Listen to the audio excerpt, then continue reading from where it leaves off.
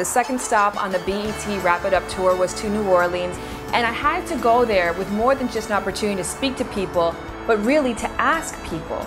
I wanted to know what is sex like in a city where sex genuinely is for sale.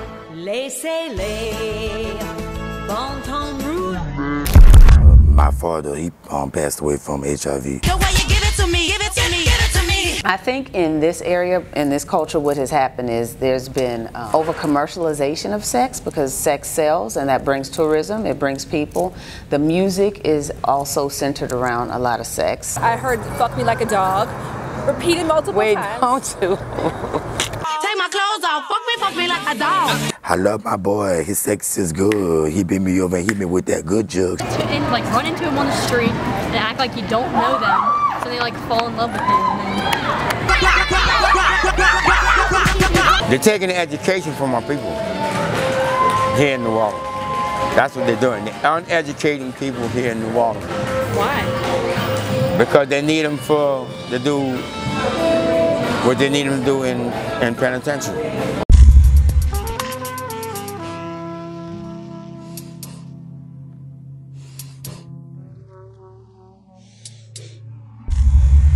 First think about the question, what is sex like in any city? Your instinct may be, like mine was, to go to Google and type in your standard rates and stats. Number one, New Orleans is number three in new HIV infection rate. And you think about the fact that New Orleans only has a local population of 500,000 people. On top of that, when we think about chlamydia, gonorrhea, and syphilis, they again rank in the top three in the United States in each and every category. And as far as teen pregnancy goes, three out of 10 young women will become pregnant before they turn 20 years old. But beyond that, beyond the sob story and the numbers, what is it really like to have sex in this city? To me, the best place to find those answers are through the visual curators, the ones who spend their time observing and documenting. And I was fortunate to have some of the best tour guides I think New Orleans had to offer. Award winning videographer Brandon Odums, aka B Mike, also photographer Erica Kane, and last but not least, up and coming designer Alexander Andrew Smith. Now, the first order of business, which was actually a little bit of role reversal for me, is they sat me down to give me the talk. It was one of the most awe inspiring, eye opening, and informative talks I've probably ever had to date. If I was to say to you, what is sex like in this city, how would you guys answer that? I think it depends on who you ask first, because there's different pockets of sexuality, of cultural sexuality in the city. I think there's the, the like there's two sides to every city, but there's definitely a strong two sides to this city. There's like the tourist side, there's the part that the French Quarter and that area that sort of sells sex in a different way, and then there's like the cultural, like there's the music and there's like the, the, the, the natural New Orleans scene that sells sex in a different way. So the, the, the touristy sex sales part would be like the strip clubs and Right, red lights, Yeah. all that jazz. social scene that, that kind of has its own brand of sex. Definitely like marketed by the types of music we listen to, which Definitely. is bounce, the hip hop, all that stuff, you know. Bed's getting late. I know you made your cake. Now it's time to come home and make this bed shake. Like a earthquake. Knocking pictures off the wall. Take my clothes off. Fuck me, fuck me like a dog. This your girl, Keedy Black on a trap with Black Biggie Biggie. You already know it. This your girl, Keedy Black, you heard me. We live New Orleans, outside of end zone, you heard me. Straight like that. I'm actually bounce music, not actually all of it, but the majority of the bounce music it describes sex. Where does that come from? Like when we were just actually in the French Quarter just now, it's the same thing. It's all about sex. It's strip clubs, um, it's prostitution. There's that sort of over hypeness of it. Is that the root of it, or does it come from somewhere else? Actually, um, bounce music, it started from like a dance, but it's just in sex movements or whatever. And people around the world, they may not understand it, but it's just our culture. So when you think about New Orleans, do you think of it as a city that's sexually progressive or one that has a lot of problems? Well, actually, we have a lot of problems. We have the youth. There are a lot of them is on the wrong page, and you know they're taking the wrong things in, and they don't know better. So some young girls sexually active at a young age. We have young teenage pregnancies. We also have prostitutes up and down the street. That's known very popular here. We have young girls starting at a young age stripping in the strip clubs and stuff like that. So yes, it's a problem. But then at the same time, the music you don't think is the pro is the issue. What's it could be. It could be the music. In a sense, it could be the music, and it could be other things going on in the household, uh, what they're surrounded by as well. You know. And I want to talk about your son as well too, because he's at that age right now where everything is so influential for him. What conversations are you having with him to make it so that he's not just a victim of what he hears? Actually, my kids um, normally come into the studio with me, so when they hear my music, I also tell them that my music is not kids' music.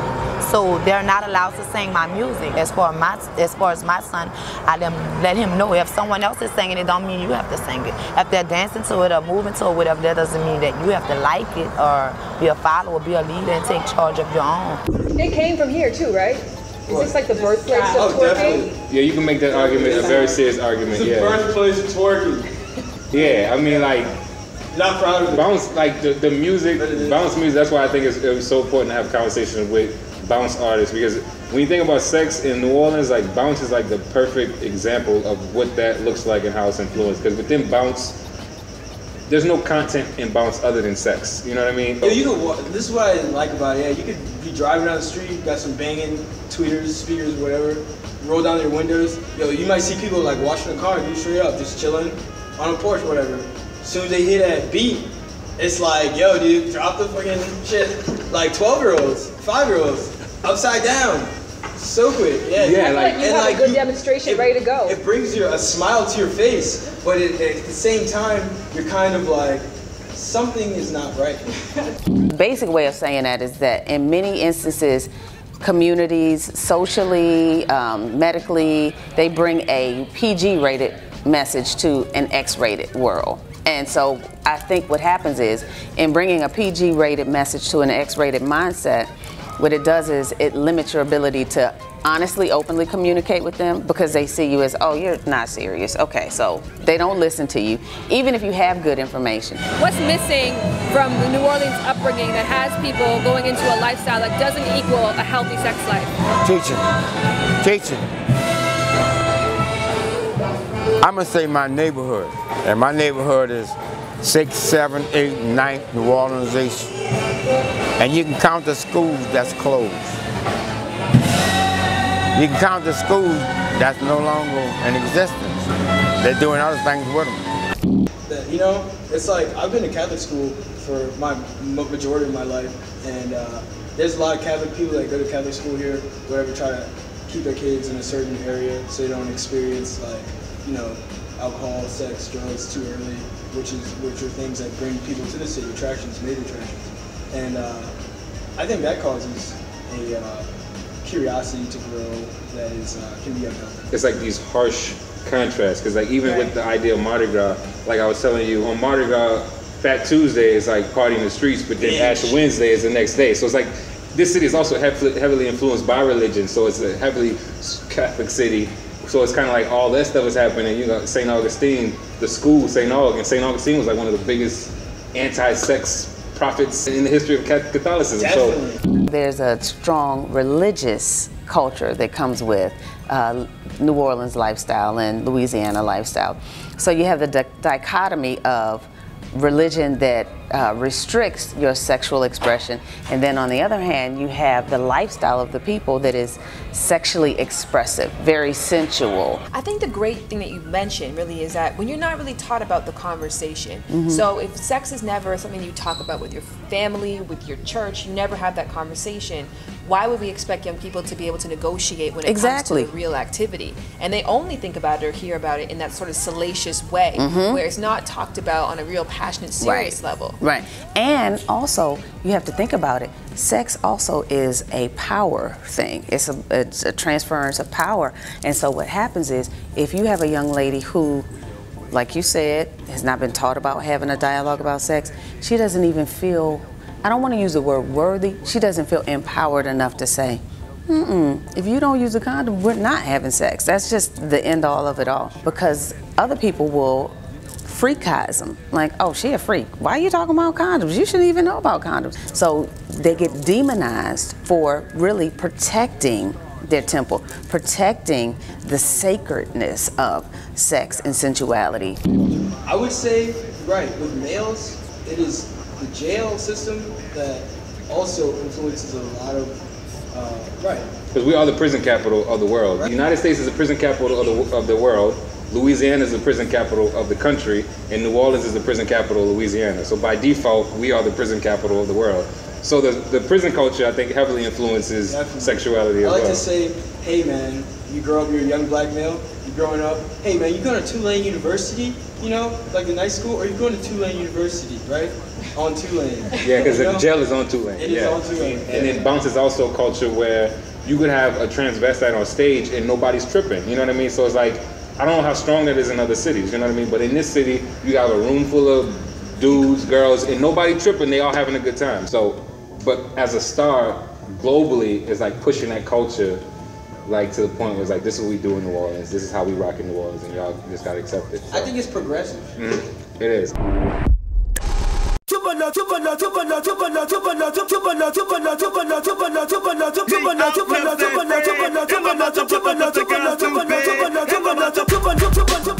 Okay, give me a big intro. What's up, y'all? This is the one only Sissy Nobby. I am one of the hottest, um, I wouldn't say bouncers, but um, southern rap artists in the South. You hear me? And I'm doing my thing. Let's go. A little Jamaican in there too. A little, gunshot in there still. Yeah? Today I'm specifically trying to really understand what sex in this city is like. If you were to say, if I was to ask you, what is sex in New Orleans like? But straightforward when it comes to it and things. And um, um, there's a lot of promiscuous women and males out here, you know what I'm saying, in the city. But I mean, you know, it is what it is. We just on some real stuff. When we want something, we want something. And what do you think you guys do really well? Like when you think of this city, like what are you proud to say? Like I'm from New Orleans and like, yeah, we, we may be very like sexually out there, but there's something beautiful about that. And what is that beauty to you? Um, well, I can't speak as far as sex wise, but as far as music wise, because of the, the bounce that we do, we don't we don't see no gay bashing, no type of homophobia down here because of that we do bounce music. What is the homosexual experience in New Orleans? Um, I mean, I mean, we just like regular people, honestly, in this city because we put on, you know, everyone knows who we are from the, the teens, the adults, everyone.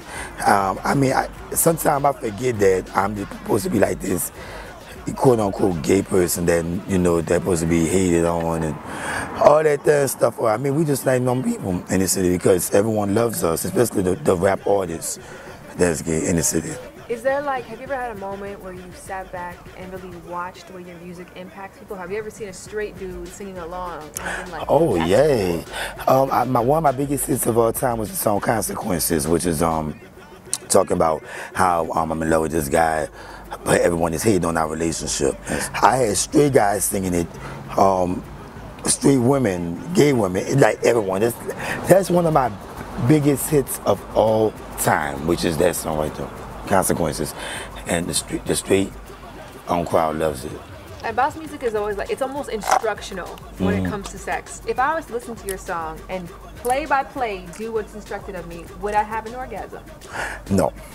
No, I, would- I would hope not. I would hope not. That's just, I mean, no, I would hope so, honestly, because then I'd be getting a lot of sales, a lot more sales on my iTunes and stuff just because of that and stuff. But I mean, that'd be like, that'd be like, wow, really?